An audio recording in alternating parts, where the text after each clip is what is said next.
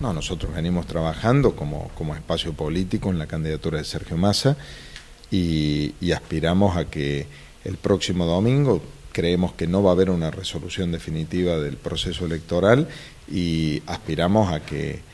el balotaje entre los dos modelos de país sea el que eh, represente seguramente mi ley y el que Sergio Massa pueda le está presentando a los argentinos, que no es continuidad de lo que está, sino iniciar una nueva etapa en la Argentina. Estamos trabajando intensamente en un contexto muy complejo, pero convencidos de que lo que viene en la Argentina tiene que ser un gobierno de, unidad nacional. Necesitamos superar definitivamente las barreras y las diferencias, apostar a los mejores de donde vengan para, para constituir una agenda temática que permita a una Argentina que tiene un potencial enorme, porque cada vez que nos juntamos hablamos de las reservas que tenemos, del potencial productivo, del potencial científico, académico, tecnológico. Bueno, es necesario unir más que dividir, sumar más que rectar y fundamentalmente tener una agenda de desarrollo, una agenda productiva para la Argentina que viene, que asuma la agenda, disminuir la pobreza, mejorar el salario,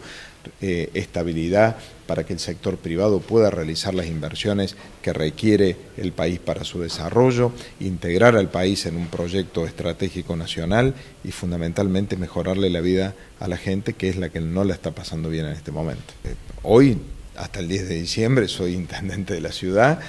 Eh, Estoy muy contento de que Martín Yarlora sea el próximo gobernador de los cordobeses. Eh, estaba convencido estoy convencido de que es la mejor propuesta que puede tener eh, la ciudad de Córdoba para el tiempo que viene y, lo vamos a acompañar en todo lo que necesite Martín. Estoy muy contento de que en nuestra ciudad también podamos haber consolidado la posibilidad de que Eduardo sea el próximo intendente y de una continuidad a los lineamientos que hemos generado en todo este tiempo y vaya por los nuevos desafíos que la ciudad requiere. Y bueno, nos queda eh, trabajar y consolidar para que tengamos la posibilidad armónica de trabajar juntos, nación, provincia y municipio. Cuando estas realidades se dan, las cosas son mucho más fáciles para todos y la vida de la gente cambia seguramente con mayores oportunidades. Después